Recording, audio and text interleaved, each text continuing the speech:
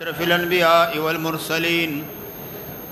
وعلى آله واصحابه طيبين الطاهرين بسم الله الرحمن الرحيم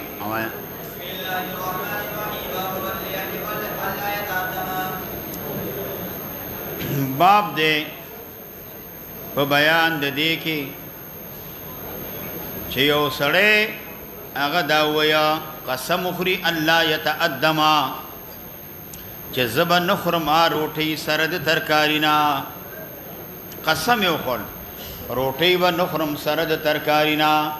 ترکاری سره به روټۍ نو خورم ترکاری څه ته ویل کېږي په کوم سي باندې حنس کېږي او که په شم شي باندې حنس کېږي نه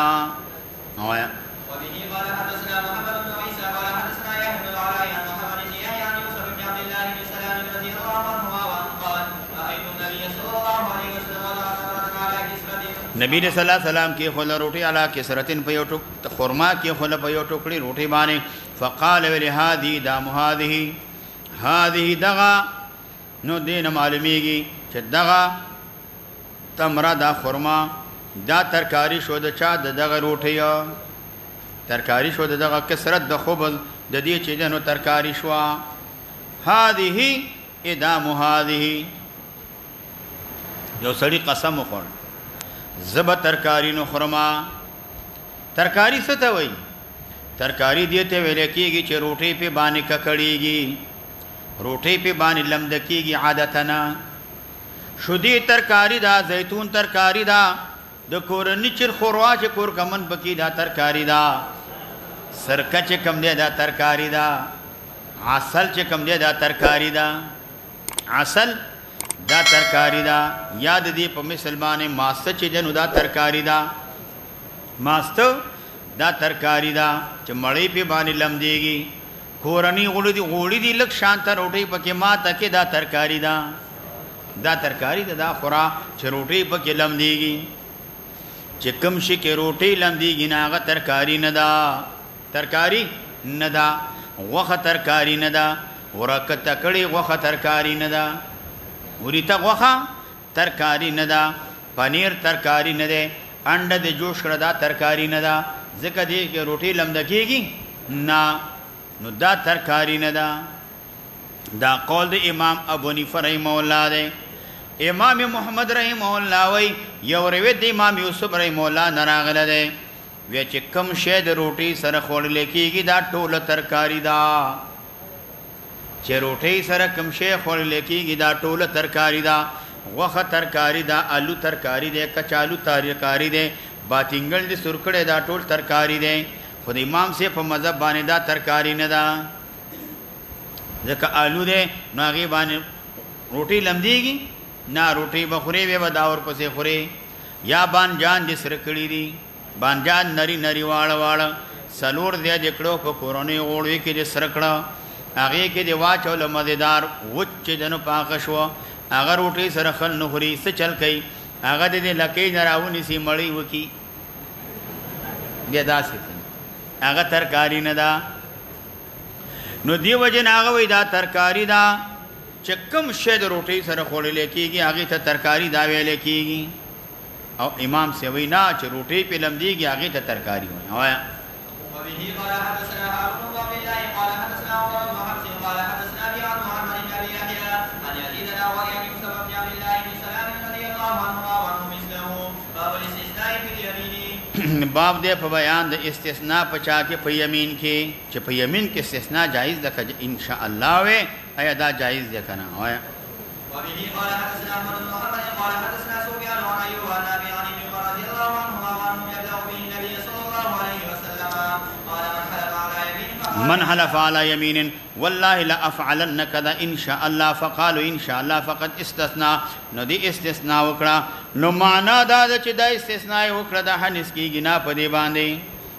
دې استثناء وکړه، امام محمد رحمه الله وايي، وبهذا ناخذ، دا زمونږ مسلک او مذهب دی، چې کله ان شاء الله ووايي بيمينه فلا شيء عليه متصل وايي، دا قول د امام ابو حنيفه رحمه الله دی، مراد په وصل سره دا دی، چې متصل وايي، چې عرف کې هغې ته چې دی نو منفصل دا نه ويل کېږي.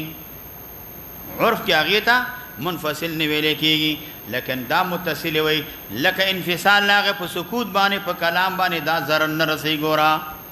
په نفس باندې راغه ضرر نه رسي او همدارنګه چې دینو دا ټوخه راغه دا ضرر نه رسي ټوخه راغه و دې ټوخه دا ضرر نه رسي کته وی حدیث خو مطلق راغلی دې کې خو د انفصال او د اتصال ذکر دا نشتره مونږ دلائل او نصوص د نورو چې د هغه معلومیږي حدیثونه هغه دال دي چا باندې په دې باندې چې دلته دا وجوب چې راځي دا د اتصال په صورت کې راځي د انفصال صورت کې نه نو معنا دا ده که ته ولګیږي استثناء منفصلا جائز کې او متصلا نه منفصلا نه جائز کې نو ډیر عقود دي بلکې ټول عقود به د خپل مقصود نه چې دن اووذي بيوع دي نکاحګان دي هبي دي اجاري دي دا ټول به اووذي نو دلته یو فساد چې دغه دارا دي یو فساد راځي ته بولګي بیعه به وکي بیا به یو کال باز مکه خرڅ کی بیا به ان شاء الله خزه ته نکاح در سره کوما پنځه کال بعد وته ان شاء الله اوس می خو خنیزا وګور سمر فساد را دي کې فساد لازميږي نو دلته استثناء دا به کې لیکن متصلا چې د نو دا جائز ده متصلا که منفصالا وی انفصال سر طریقې ویلې دا چې د نو دا پیدا چې د نو دا نرسیا استثناء متراخیا کرے شي نو بیا خود سره کفاره لازمیږي نه او تراخی استثناء چې نه دا منقطع ده ځکه حدیث کې راځي لیکفر عن یمینه کفاره لازمه شوي که تغییر په استثناء باندې راشي متراخیا بیا خو به شریعت کفاره ولې لازمه ولا قسم یې خوړی دی ښه برابر یو کال بعد ان شاء الله یو میاشت بعد ان شاء الله دوه ورځې بعد ان شاء الله متراخیان دي ان شاء الله او یمین وسره باطل شو نو زمونږ د شوافیو په مابین کې د دې دواړو په مابین کې اختلاف دی مونږ استثناء متصل چې کوم دی دا معتبر ده منفصلا چې نو دا معتبر نه ده وایا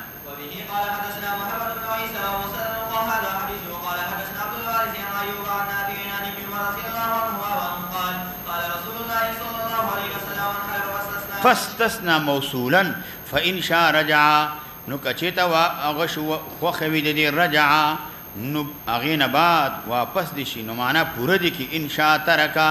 برابر خو چې دي پوره کړو که پوره نکړه غیر حنسن نو دا حانس نه دی دی باندې حانسیږي نه فاستثنا مستثنی موصولا وکړه فان شاء رجع وان شاء ترک خو خو شي نه دا دی واپس دي شانه پوره کړه وان شاء ترک یا پوره نکړه په ان شاء الله ویلو باندې دا حنس کیږي نه وایا باب دی راغله په بیان د قسم د پیغمبر اسلام کې چې نبی رسول الله څنګه سي قسم خوړلا وایا وبه قال حدثنا عبد الله بن محمد بن نفيل قال حدثنا ابن المبارك عن موسى بن عقبة عن سالم عن ابن عمر رضي الله عنهما انه قال احسن ما كان رسول الله صلى الله عليه وسلم يحلو بهذا اليمين الى لا نه دا داسې و مقلب القلوب دا صفت د دلات او تلا صفاتنا ما دې قسمی پاغه داد باندې چې د زړونو د خلکو چې د اړې ایمان ورته غوړه کوي او کفر نفرت پیدا کوي کفر ورته غوړه کوي د ایمان نه چې د نفرت پیدا کیږي مقلب القلوب علامه کرمانی وی معنا دا ده چې اړون کې د احوال لرا ارادي و غیرها نو دې چې د نو اړ ارادي بدليږي احوال چې د نو بدلوال را دي په غرازو کې بدلوال را دي نو ځکه حقیقت تن زړه کې انقلاب نه راځي د دې په احوالو کې د دې په اغراضو کې د دې په مقاصدو کې د دې په ارادو کې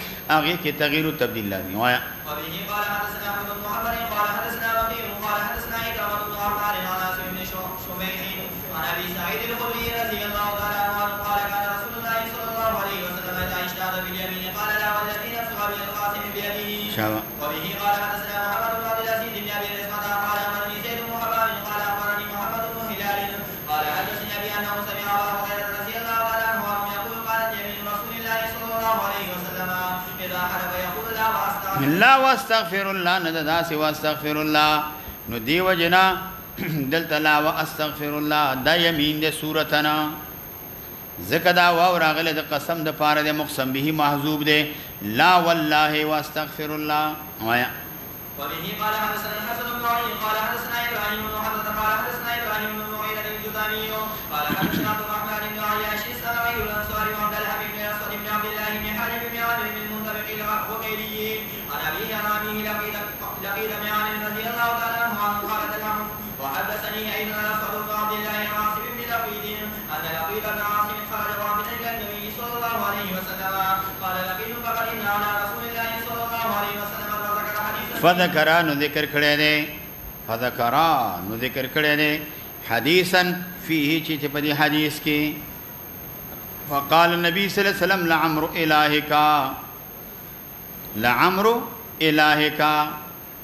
نبی علیہ الصلوۃ والسلام دا ذکر کړی دی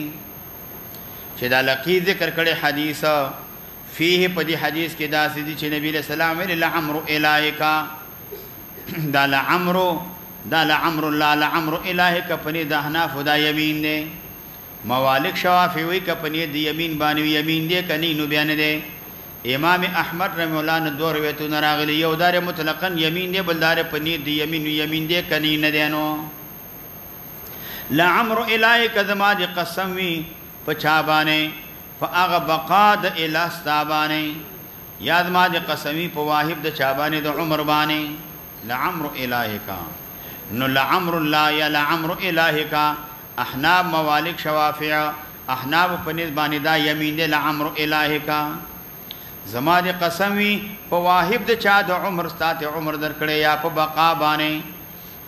نو دلته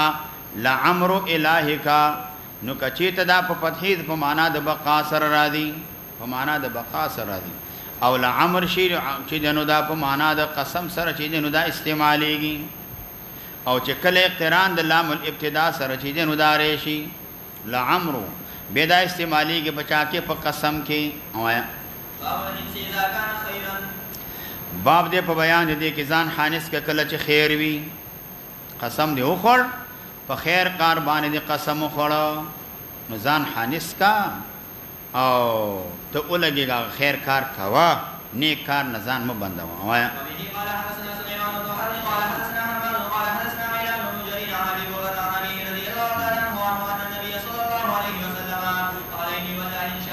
ول قال ویلی چې نبی رسول الله انی چې والله ما قسم ان شاء الله که چېرته د الله تبارک و تعالی خوښه وشي دا ذکر د مشیت تبرک دپاره لا احلف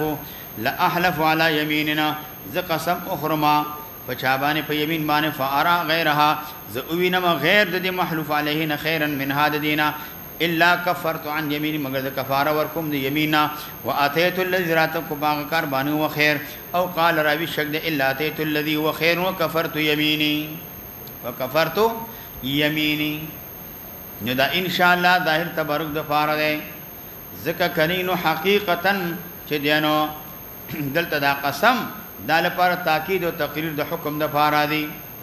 نو راتګ به کې په هغه کار باندې چې هغه خیر دی هغه کار باندې راتګ کوم چې هغه خیر دی او بیا هغه نه با چې د نو کفاره د یمین دا بار کومه مسله را روانه د دې کې اختلاف دی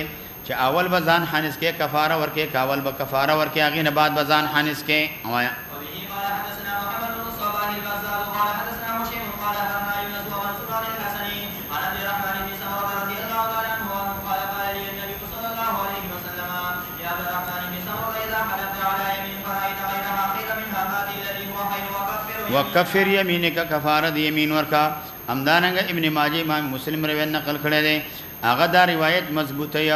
چه دا مذهب د احنافو چه تکفیر قبل الحنث جائز نه ده ځکه کفاره ستر د جنایت ته ویل کیږي جنایت خو قبل الحنث نشته نه ځکه کفاره قبل الحنث جائز نه ده امام شافعی رحمه الله وی دا چه د نحس نه مخکې کفاره ورکه دا جائز ده وایا نو هغه به مرسته ورکړي په یمن کې کفاره مخکې نه حنث نه کفاره ورکول شي وایا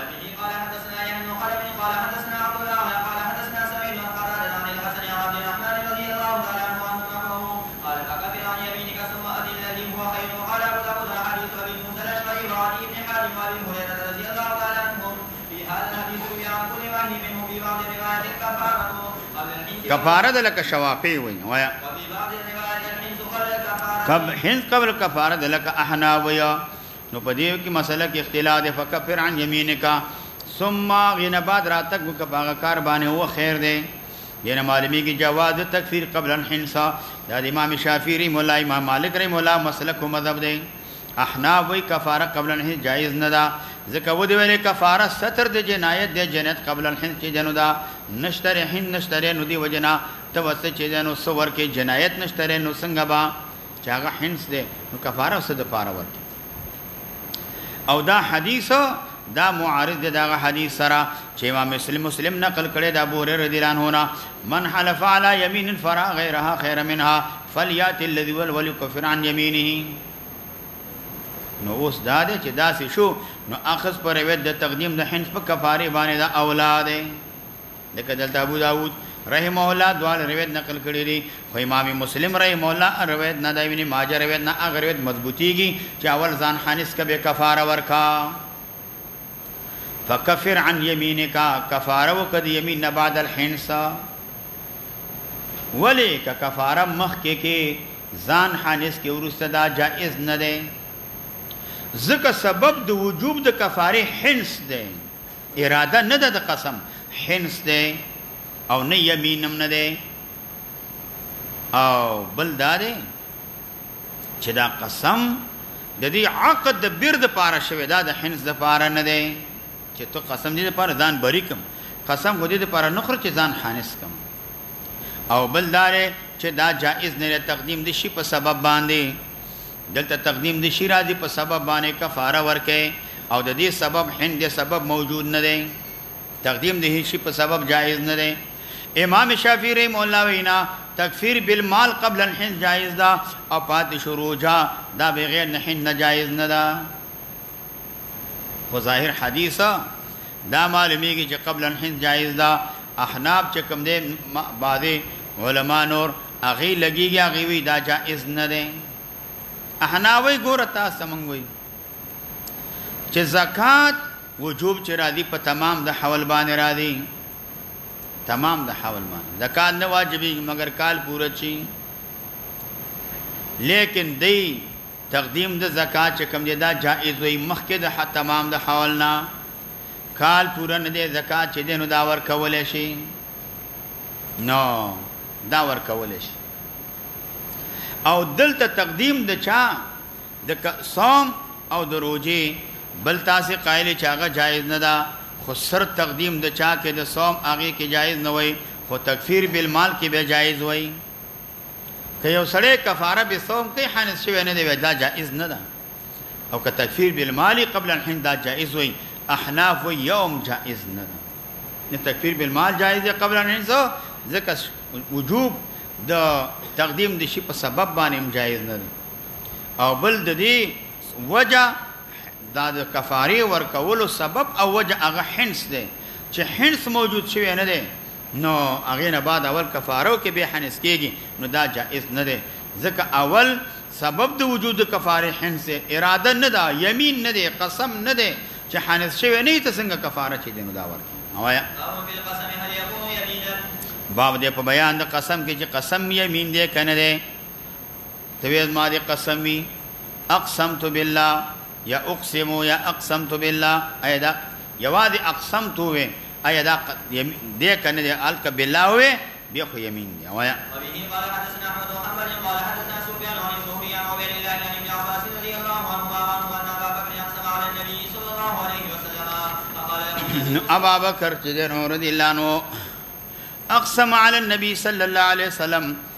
نو دی قسم او خل پیغمبر علیہ السلام باندې په قصه د تعبیر د رویا کې نو نبی علیہ السلام ورته لا تقسم قسم مخرا د دینه معلومیږي چې دا قسم دی مسله را روانه ده وایا وبه قال حدثنا محمد بن يحيى قال قال حدثنا عبد الرزاق قال ابن يحيى خطبته من كتابه قال اخبرنا قال زهري دا حدیث مې لیکل د کتاب د چانا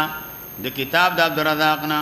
وایا قال اخبرنا معمر عن الزهري عن عبيد الله عن ابن عباس رضي الله عنهما عنه قال كان ابو هريرة يحدث ان رجلا اتى رسول الله صلى الله عليه وسلم فقال اني ارى الليلة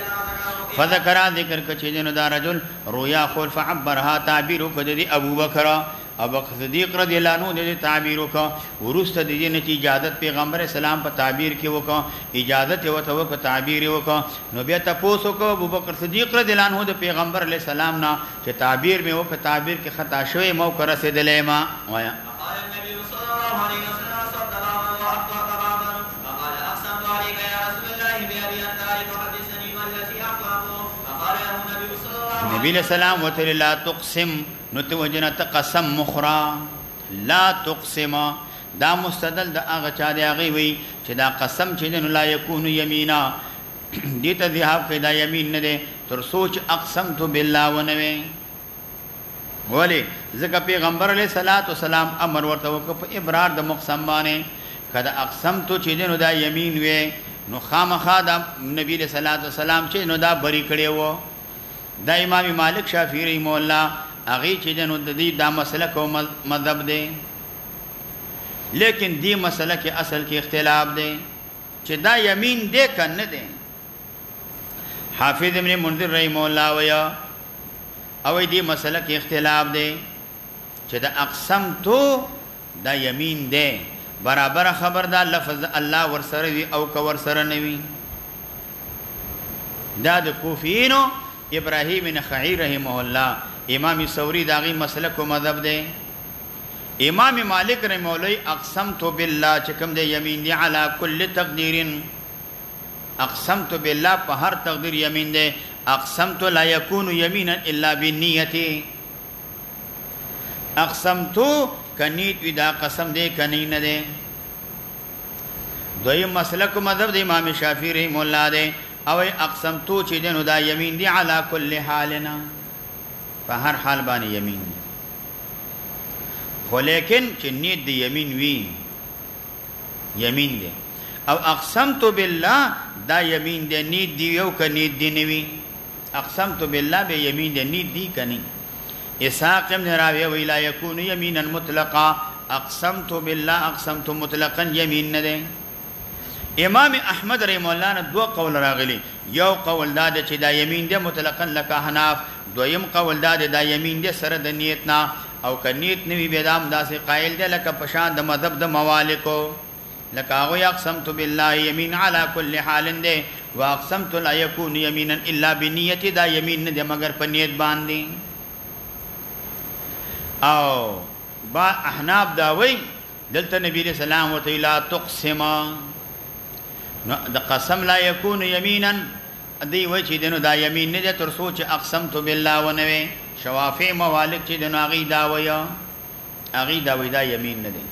احناف مسلک او مذهب دار چې دا یمین دی دا یمین دی اقسم تو دی او ویل دا اقسم تو بالله دا اقسم تو چې دنو دا یمین دی برابر خبر د لفظ د الله ورسره وي او که لفظ د الله ورسره نه وي د جمهور علما او د کوفیینو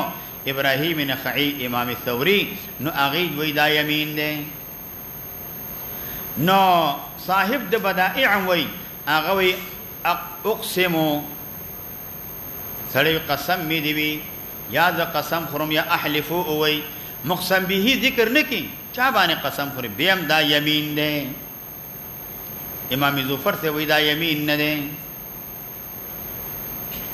او دا یمین نه ده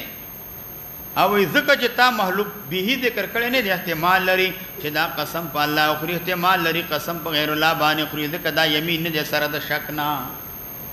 شک راغی پکې احناف نه قسم خوراک صرف الله د الله په صفات باندې جایز دی نو دیو جنا دا صرف په الله تبارک وتعالى عز وجل باندې جایز دی ځکه عرب اغه لګيږي حلف قسم نه متعارف امدغه قسم بالله ته نه مراد دی يحلفون لكم لترضوا عنهم یحلفون لکم یحلفون بالله نوی ولی ځکه متعارف دا دی چې عرب مراد قسم نه قسم خوراک په الله تبارک وتعالی باندې دی یحلفون لکم لتردوا عنهم دا منافقان قسمونه خوري تا ته د الله پیغمبره په الله باندې ګور الله په الله ذکر نه دی قالوا نشهد انك لرسول الله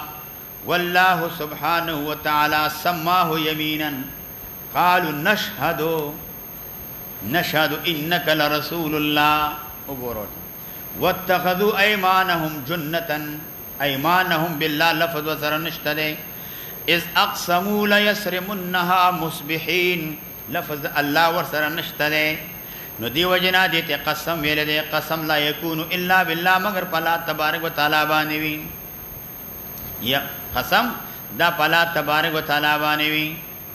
نو ظاهر پیغمبر علی السلام او بکر صدیق رضی الله عنه ته لا تقسم د دینم دا معلومیږي علامه ماری دینی رحم الله وی چې دا قسم یمین دی که یمین نه نو ولې ورته تقسم دا ویل کیږي لا تقسم نو او دینه معلومه شوه چې دا تعبیر کوون کې کله خطا کیږي او کله په خوب کې رسیږي دا رویا خوب کې کله تعبیرو کې کله به صحیح او کله به صحیح نیو یا بغض صدیق رضی الله عنه دا ورسته مسله چې دنو دار روانه ده اقسمت اقسمت بالله بالله ونو اقسمت ویا نو دیو جن جمهور علما وای چې دنو دا یمین ده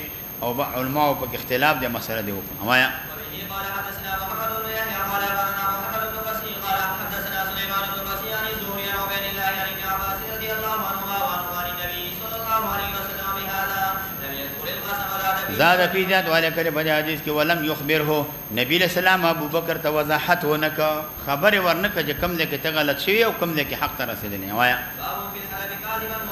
باب دی په بیان د حلف کې کاذبا متعمدا دروغ جن دروغ باندې قصدن قسم خوري دې ته یمین غموس چې دینو دا ویل کېږي.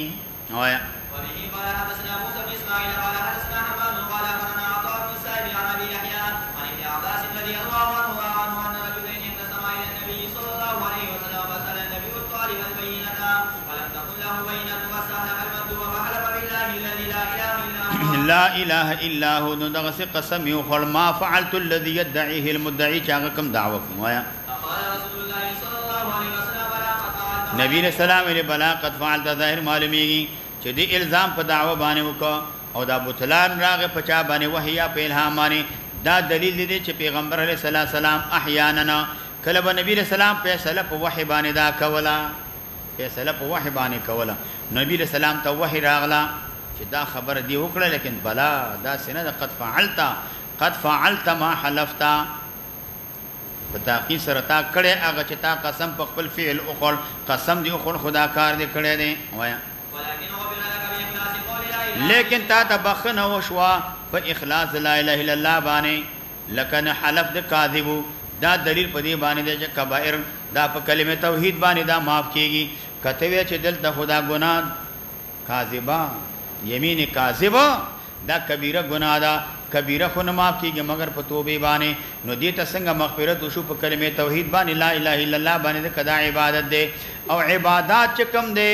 دا چې دنو سیئات صغائر چې دنو هغه معاف کوي ان الحسنات یذهبن السیئات دلته خو په کبیره ګناه معاف شو په لا اله الا کلمه توحید باندې ته جواب وکا چې کله دې سړی په لا اله الا الله کې اخلاص وکړ ګویا که په خپل فعل باندې پښیمانه شو نو نه توبه ویل کېږي ندامت ته چې پښیمانه شي معنا دا ده توبه دې ویستله یا ممکن دی چې دا سړی چې دی نو دا جواب وکړه مخکې د لا اله الا الله نه مؤمن په اخلاص باندې نه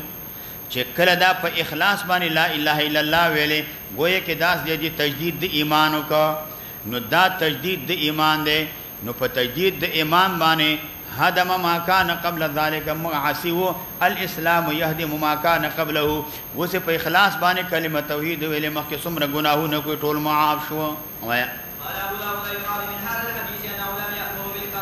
لم یامر نبی علیہ السلام دې ته امر ونک بچا باندې په کفاره باندې کفاره باندې امر ونک ځکه چې دنو لکه دا یمین غموس دې یمین غموس کې کفاره چې دنو دا نشته دې نو دا د مینې غموس هغه کې چې دنو کفاره دانشتره بلکې هغه کې چې دنو ګناه ده ګناه ده نو دا منیان هو ده دې کې ګناه ده او صح قسم دی دا چې په تیر شوی زمانه باندې قسم اخري او کار دې کړي وي او ته یې نه مې دې کړي یا دې نیوي کړي قصدن اخري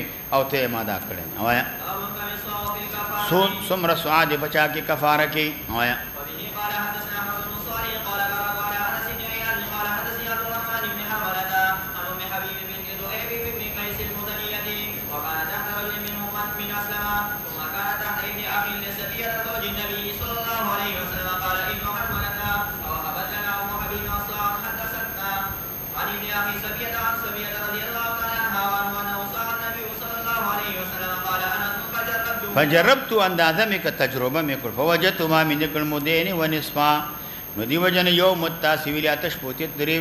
آتش پته تولې درې ماسه کېږي ونصفا او دو نیم مدو به مد هشام په مد هشام باندې یعنی دا مدو چې دا هغه مد چې په امارت د هشام ابن عبد الملک کې دی کې زیاتواله راغلی وو وایا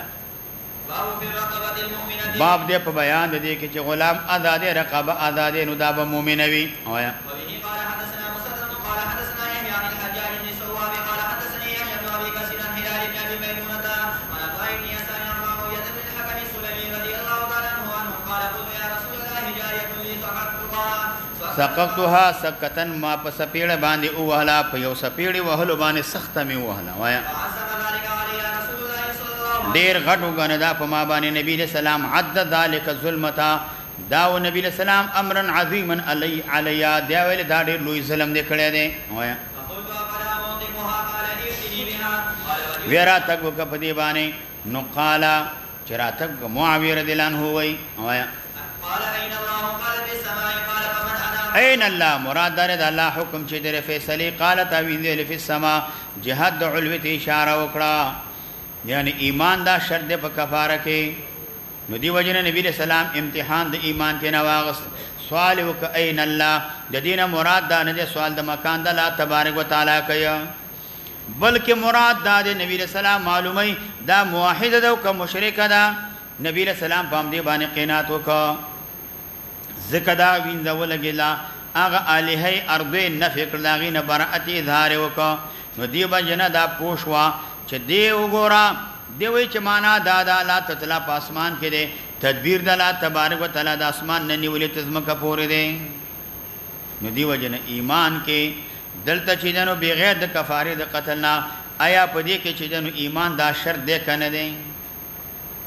نو دې مسله کې چې دنو اختلاف دی چې آیا ایمان دا شرط دی او کنه دی نو په دې مسله کې چې دنو د علماو اختلاف دی احناف وای صرف کفاره قتل دا مقید د بچا باندې په ایمان باندې او کفاره یمین چې راغلی دا مطلقه ده دې کې مطلق غلام آزاد کا تحریر رقبتنا او مطلق احناوی دا جاری دی په خپل طلاق باندې مقید په خپل تقید باندې جاری دی جمهور علما مطلق حمل کوي په مقید باندې الته کفاره د قتل کې قید ایمان راغلی دی نو مطلق په دې باندې حمل کوي وی کفاره یمین کې مدل تقید د ایمان داوی وایا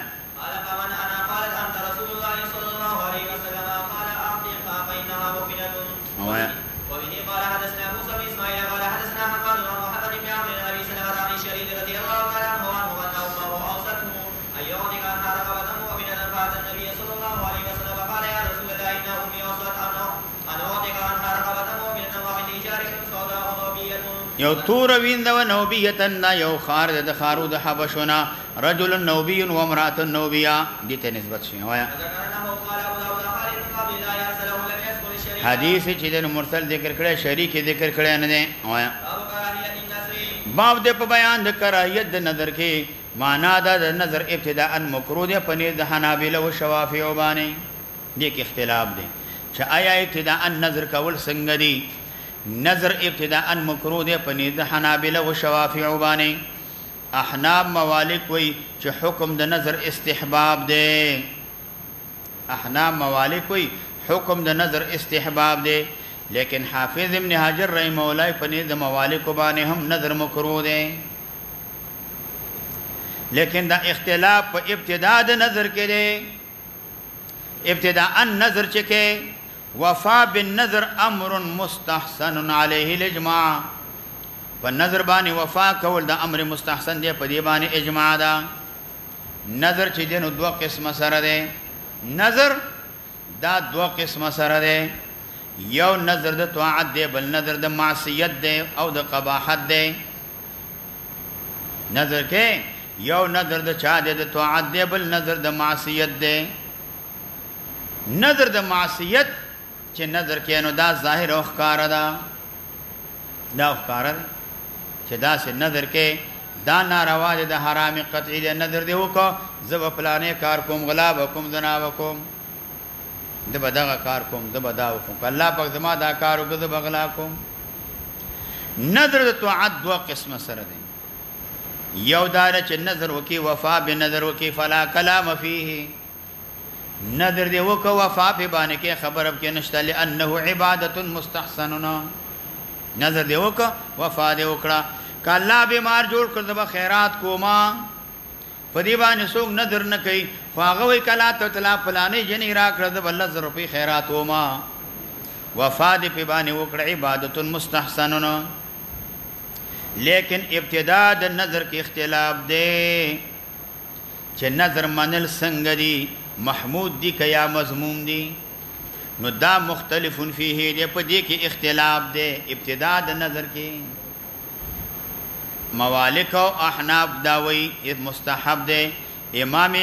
شوافی حنابلہ وی ابتدا بالنظر چې نو دا مکروه ده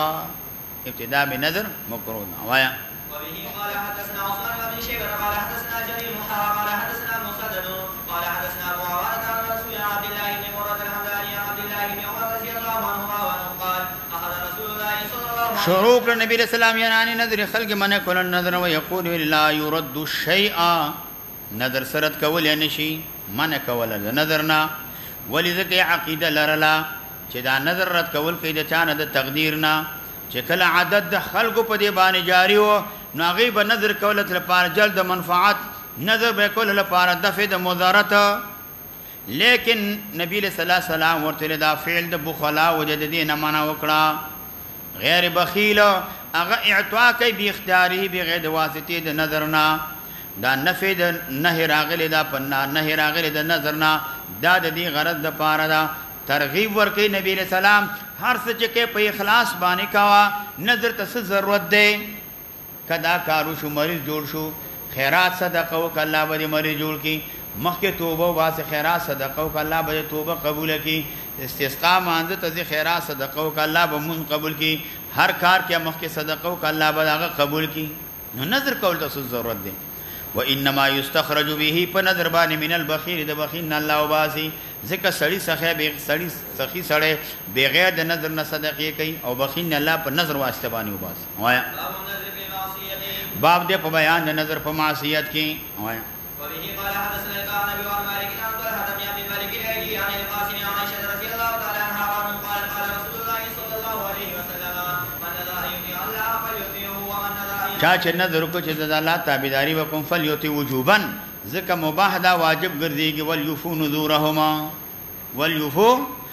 نذورهما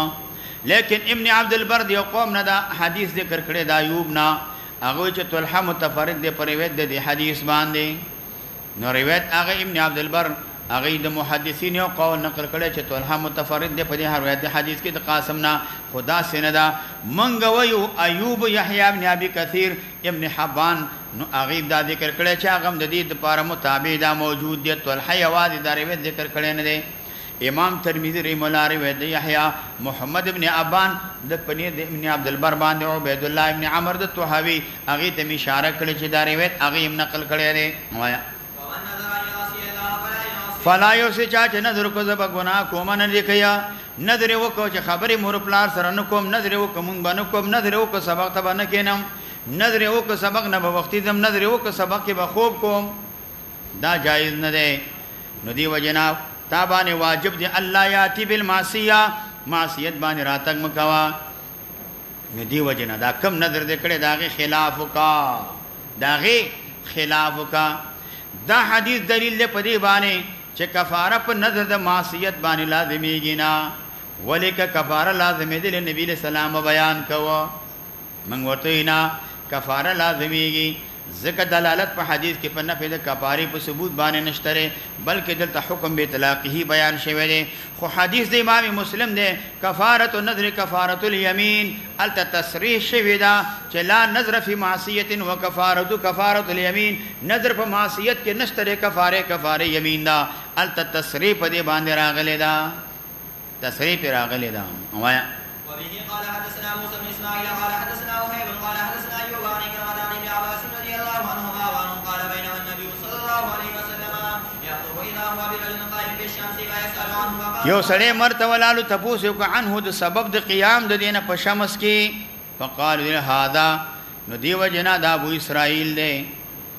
د ابو اسرائیل دی نو دا ولا لنظر کړن یقوم ولا یقود ولاړ به کینی بنا ولا استذل سوری ته بنه کین ولا تکلم خبر و یسوم روجی بنسی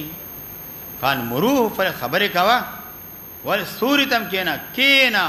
ولتم صومه او روجا چې دنو هغه تام روجا هغه تام کا نو کسړی نظر کړي نو ته ولګېږه کفاره د دې کفاره د چا د یمین د هغه ورکا نو د نظر نه چې د هغه خلاصېږي او وروسته امام ابو داود دا روایت هم ذکر کړی دی حضرت عشیر امام مسلم ذکر کړی دی چې نظر په معصیت کې نشته دی خو کفارت کفارت یمین د دې کفاره کفاره د یمین ده